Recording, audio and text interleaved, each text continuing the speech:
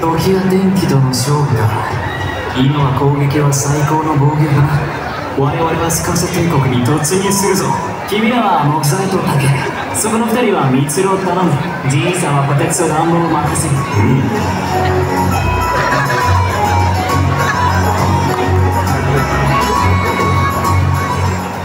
一体どうやってこれ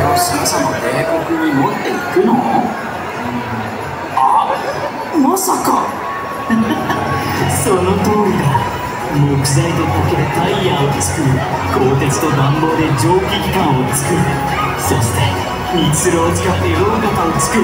そう。これで自動車を作る。んだこれで水位を完成した。科学の怪力モンスタースチームゴリラ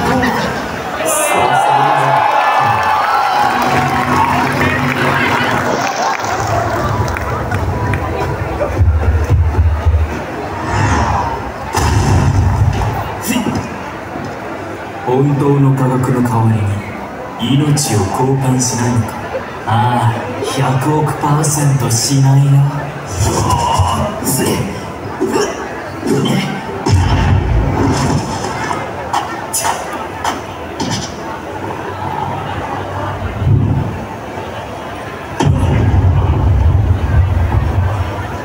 君の科学に負けたようだ。なセット交代するふざけるな。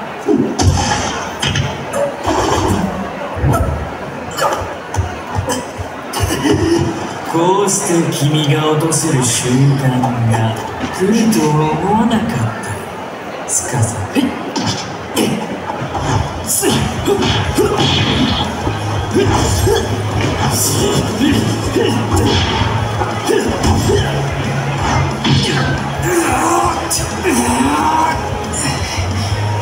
先に包帯食らいやがれ